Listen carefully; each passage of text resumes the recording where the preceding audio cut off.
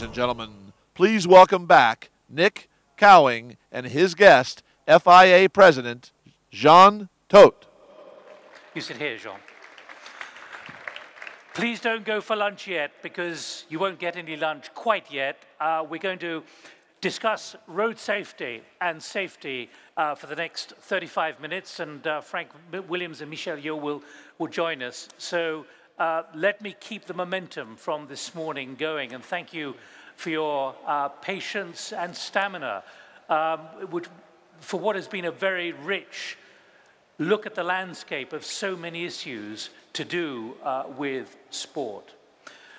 Jean Todt, uh, President of the FIA, what is your message, given that you have been working incredibly hard on the business of road safety?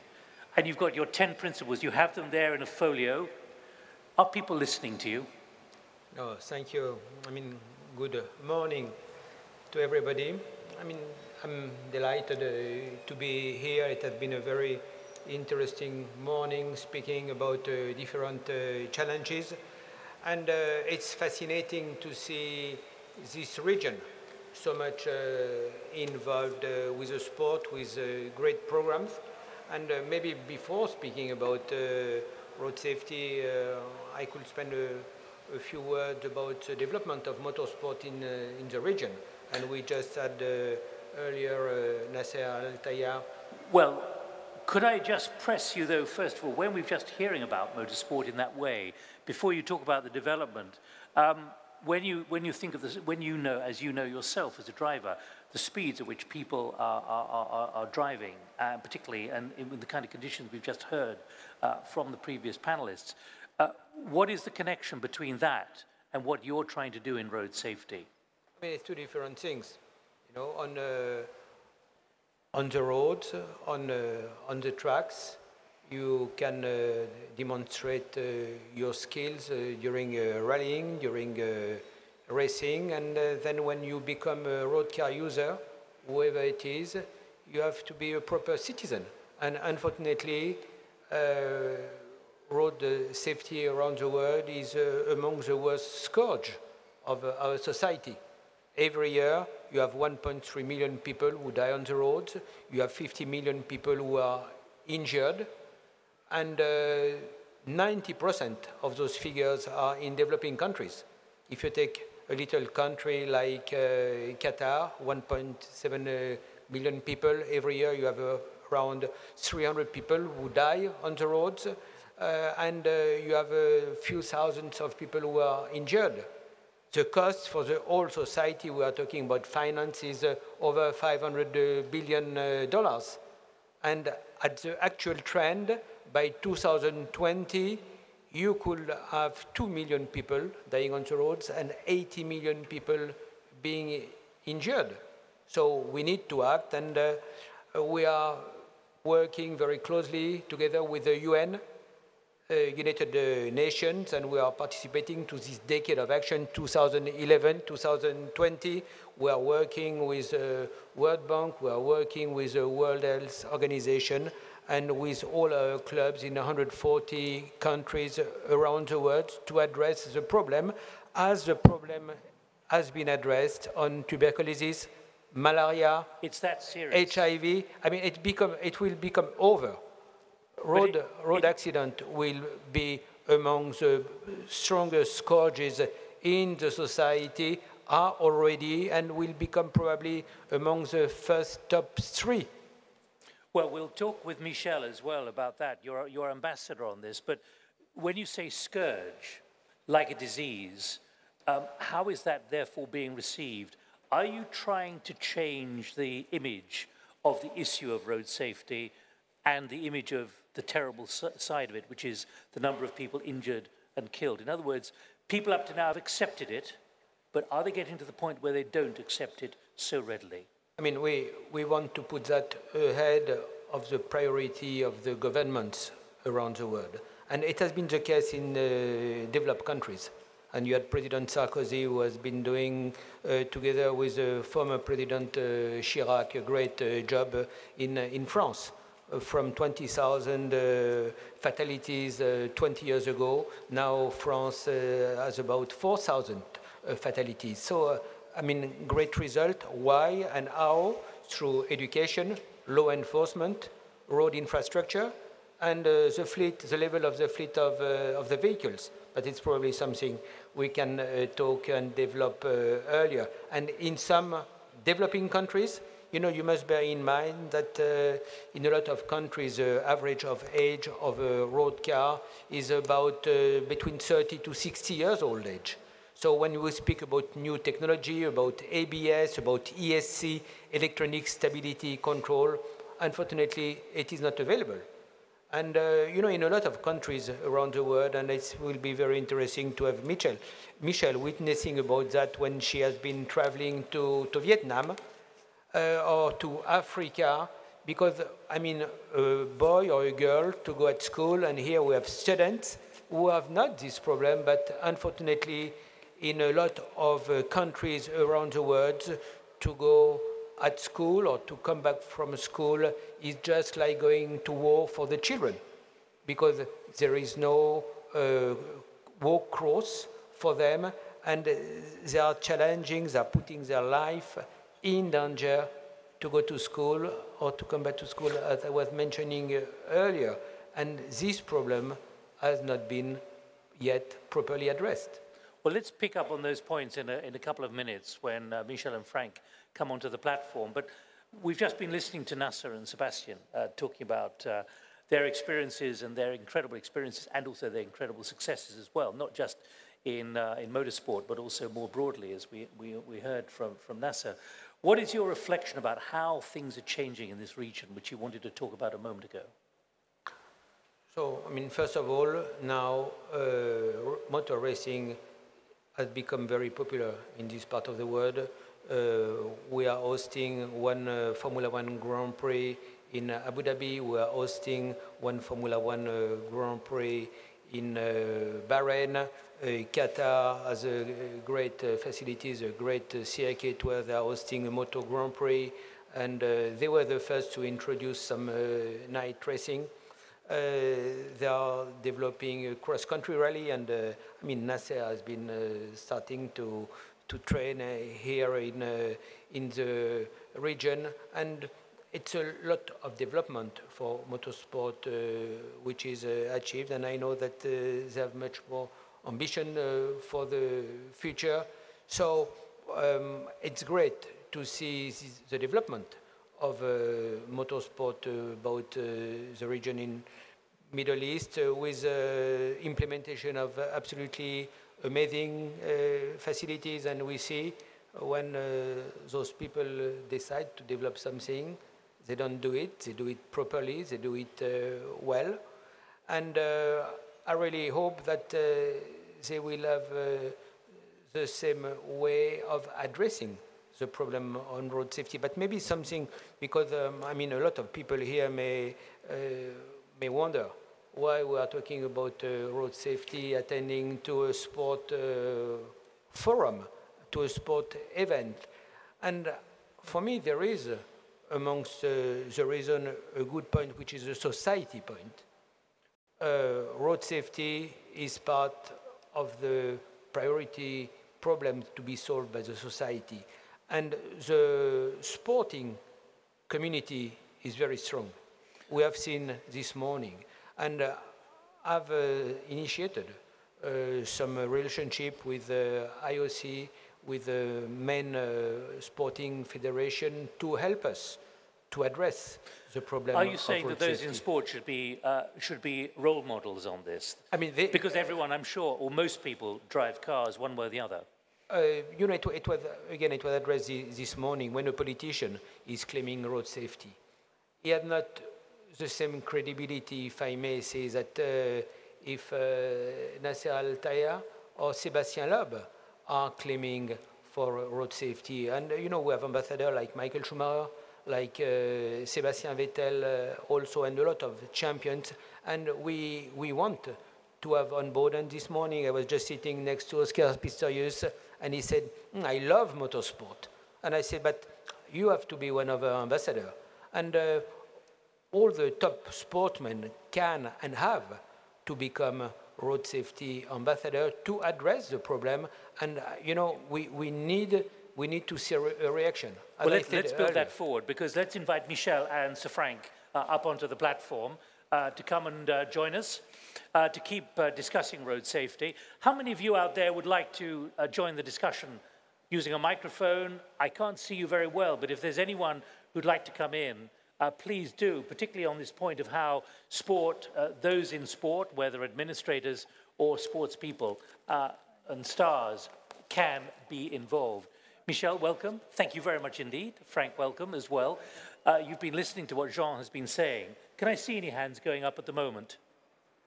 Not at all. Hands uh.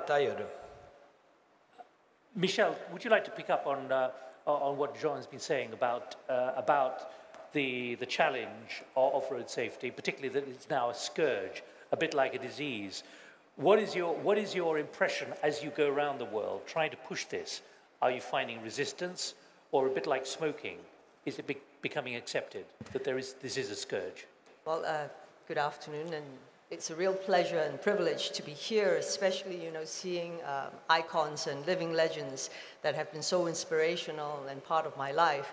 Um, what we are talking about, actually, it's not so much a resistance rather than a um, puzzled look on a lot of people's faces when I say I'm claiming for road safety. And I actually had a young person turn around to me and say, well, I don't drive a car, so it doesn't involve me.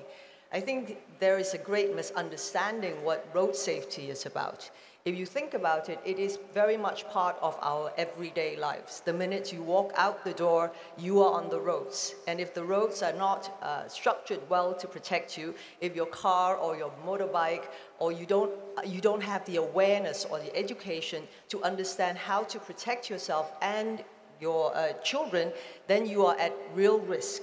Why we are calling it a scourge is simply because it, we do, it is a disease. We're treating it as a disease because the good news is we do have the vaccines. In this road safety issue, it's, uh, it could be a great success, which is a sum of efforts, small efforts, repeated day in, day out. What Jean has is the golden rules. And if you look at the golden rules, it is not rocket science. It is very simple uh, instructions. In fact, I'm sure things that all of us are very aware of. If you are in a car, you put on your safety belts. If you are, if you're riding on a motorcycle, you wear your safety helmets. So it's all these things that we need to put into good practice. And if we do, then we are in, in hand with the decade of action for road safety. Let me just summarize uh, without the sub clauses here. Belt up, respect the highway code, obey the speed limit, drive sober, protect my children, pay attention, stop when I'm tired, wear a helmet, be courteous and considerate, look after my vehicle. It's pretty obvious, isn't it? Yes. So why is it that there's still this gap between how obvious this is and those who spend money, buy a car, or they rent it, or they pick it up somewhere, borrow it, and they still don't quite get a bit like smoking, taking a cigarette. Mm-hmm. It's, uh, you know it's going to damage your health. You Sometimes people are fatalistic. They think it's never going to happen to them.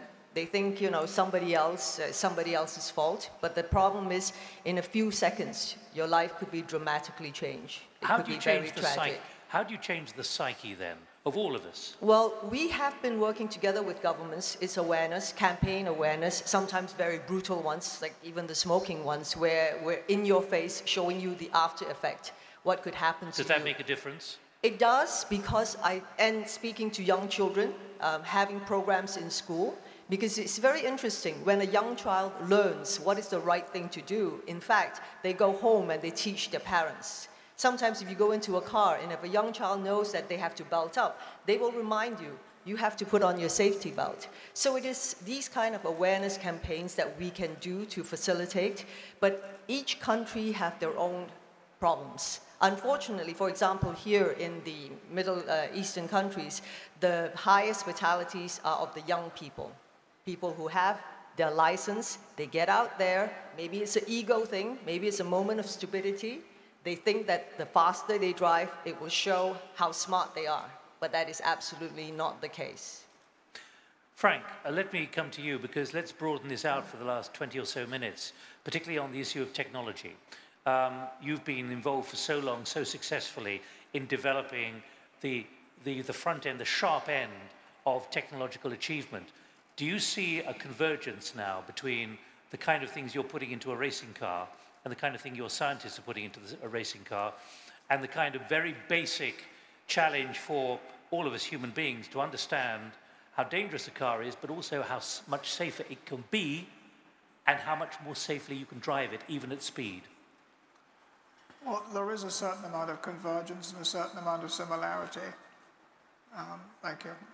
Um, but there's still quite a gap as well. And obviously, racing cars are immensely fast, but they have the benefit of having amazing circuit safety provision, especially the guardrails around the circuit. And in the event of an accident, there are always marshals instant to give a driver aid of any sort if it's so required. In a road accident, for instance, in mine, I flipped the car over when I should have known better, and it was about 30 minutes before an ambulance turned up, and then another 30 minutes drive to the hospital, all of which doesn't help. Um, but also, um, driving on a road, there's no one there to control you, there's a policeman, and you always think you can do better.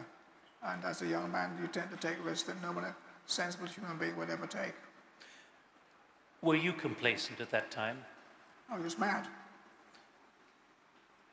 I was being a bit more polite and saying complacent. I mean, when you, okay, you say you're mad, but were you, were you not treating a car with respect?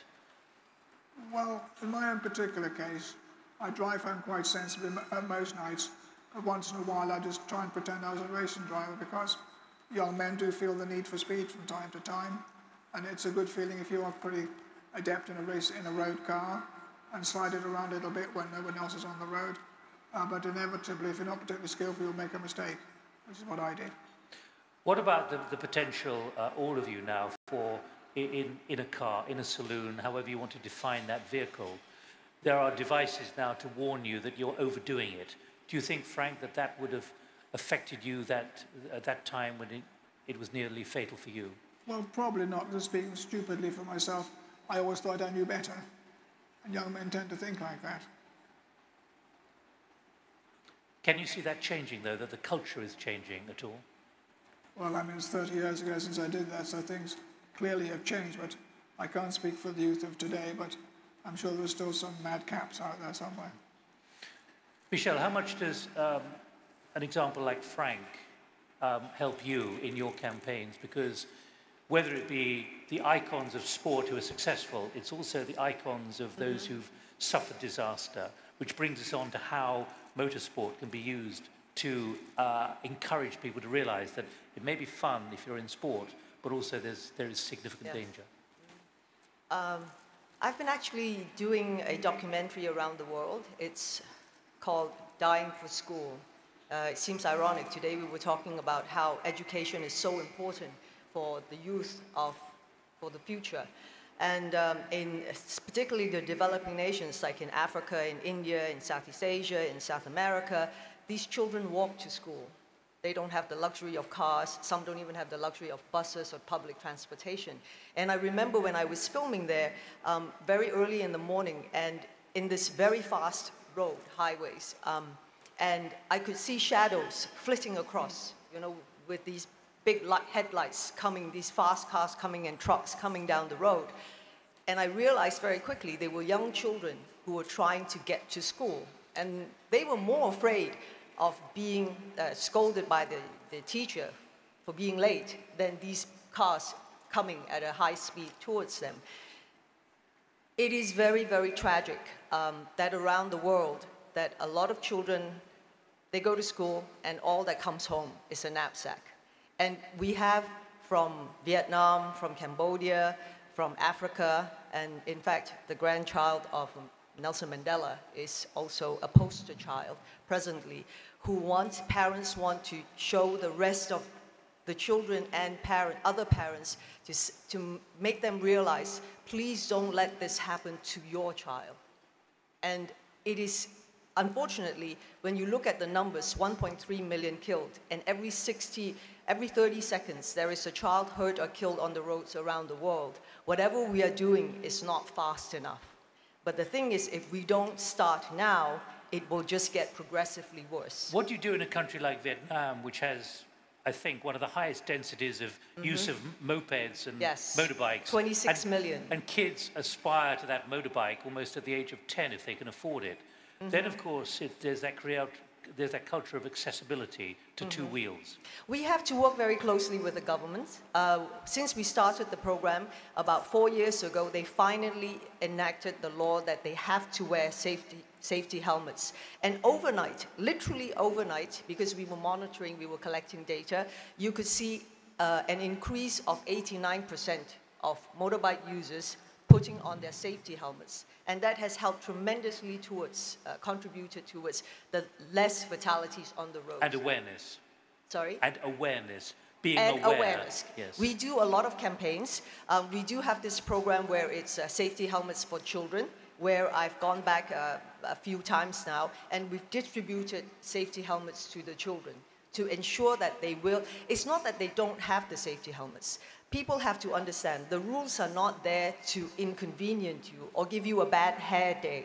A lot of the times, people actually think, I'm just going round the corner, so I don't need a safety helmet. But it's just round the corner that something very tragic that can happen. Frank and Jean, uh, where is technology taking us in this? It's always too easy to rely on technology, but after all, think uh, of what the airbag has done, even though there are some downsides to airbags. Frank, can you sketch for us where is technology taking us on road, car, vehicle safety, based on what you know from your team? Well, I know very little about it because I don't have any real relationship with any motor car manufacturer. Clearly, they take the issue of road safety very, very significant. I've visited several very well-known factories, and they all have enormous safety rigs, do a lot of crash tests, which are immensely expensive. They take it, they spend a great deal of money on this issue. Um, beyond that, uh, I can't really answer your question. But in terms of what the driver see, in a motor racing, motor racing team is seeing and feeling in his, in his cockpit, are there things coming down the track there which could somehow influence the average driver, even in a cheaper car? Well, certainly the road car of today is far safer than, say, 10 and 20 years ago because it has better tyres, better road adhesion, better brakes, better steering response, and of course, better, better crash structures built into the cars are fundamental. It's definitely an advance. Because, Jean, what, what, here is point 10 look after my vehicle. It's all very, very well having better tyres, but you've got to keep them inflated correctly. What do you see technologically coming down the track? There are now many cars, for example, which will read the pressure in your tyre without you having to get out and spend 50p and test it. I will say the actual revolution, uh, which is uh, now applied in uh, most of the new cars, is ESC, electronic stability control. And How does uh, that work? Could you tell us? I mean, it's anti-skid. So it means that when uh, you will normally lose the control of your car, electronically the car will be balanced again on the road. And uh, that's about 16% less road accident. But you know, it's something I would like to mention which is essential because we are now talking about new cars, but the fleet of the vehicles around the world is unfortunately made with most of old cars. And uh, the world is divided in two. You have the developed countries with new cars, with new technology, with law enforcement, and unfortunately, you have most of the countries around the world who are not benefiting of new cars, who are not under a strong law enforcement, where the road infrastructure is very poor, and that's where the accidents are coming from, and that's where the accidents will increase.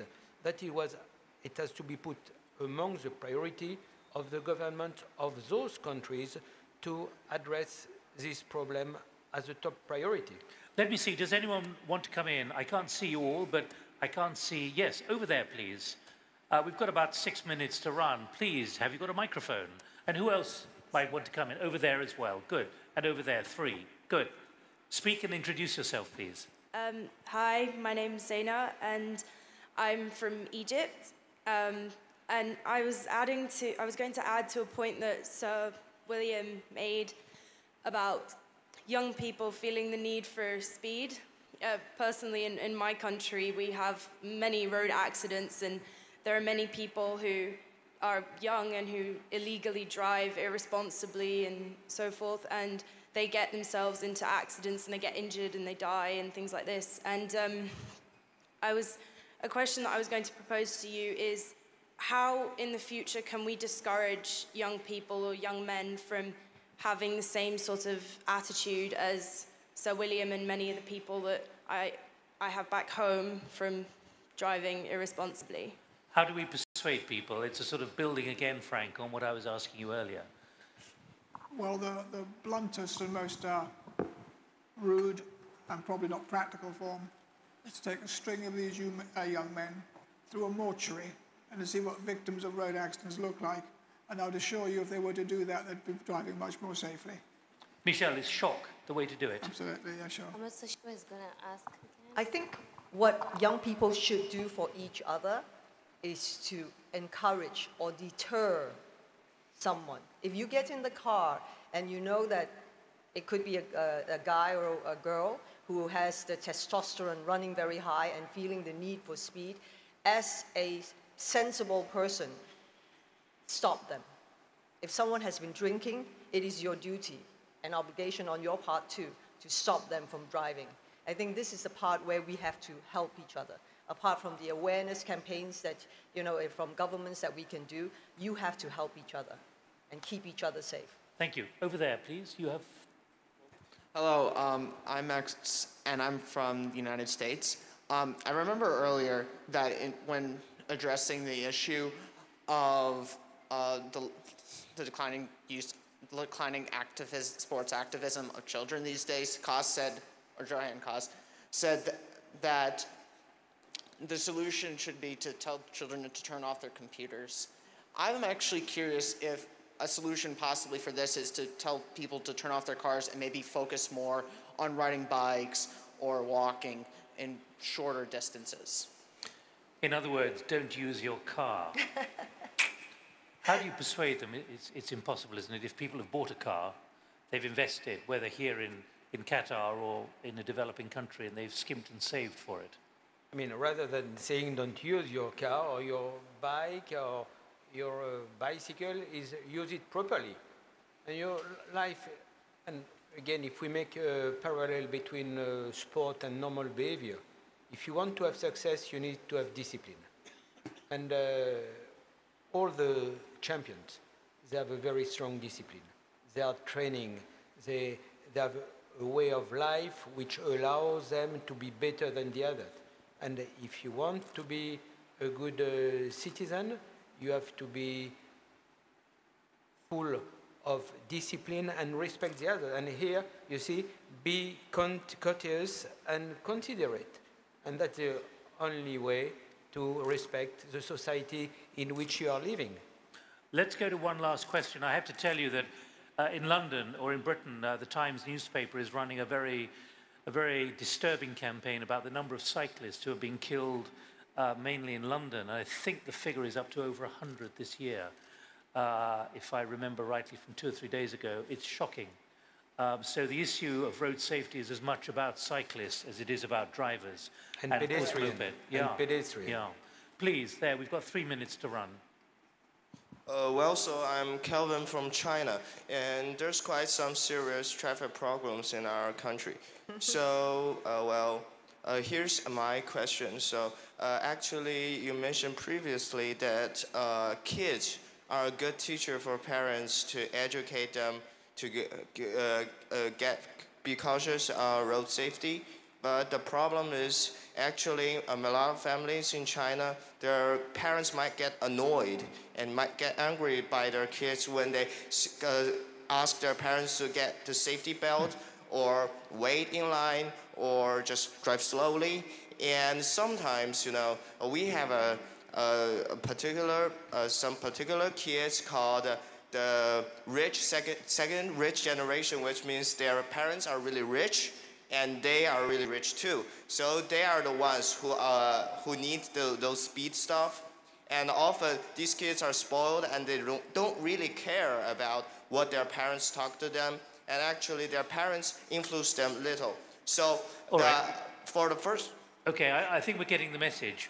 Frank, um, were you being persuaded you were driving too fast when before you had your accident? And what did you say to your family and friends if they ever said to you? Did they ever risk saying to you, "You're driving too fast, Frank"? Well, my wife reminded me frequently, but um, I must confess I worked, excuse me, always finished work very late, by nine o'clock at night. I lived in the country, so at the time of my life, most nights driving home. No headlights coming on the other way, must be all the road. Must all be mine, stupid stuff like that. And whilst I never ever came near having a head-on collision with any other car, the inevitable happened. I was left the road one, one, one evening and finished up in a French hospital. Michelle and Jean, very quickly, do parents listen to kids? Michelle? Well, the thing is, if you're doing something right, you should never be afraid, right? Even if your parents were to get annoyed with you for a split second, at the end of the day, you are doing the right thing and you should persist and pursue that course. Jean, point, point 11, I want to be safe. Tell people to, to be safer. I mean, you know, I, I, I mean, maybe to conclude, I will ask all of you to be ambassadors for road safety. And, uh, you know, I'm sure that you are usually getting into the car and you must make sure you put your safety belt and all your passengers will you, with you will put uh, the safety belt and be respectful uh, to the others. But uh, it has to be a very strong solidarity to address this huge scourge which is a road accident. Right, a huge scourge which is road accidents, not central to sport, but it, you are part of it as well.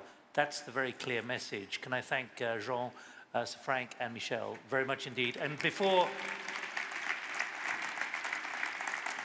before you dash off, you, it is really lunchtime now, and we'd love to see you back in here um, at 2.30.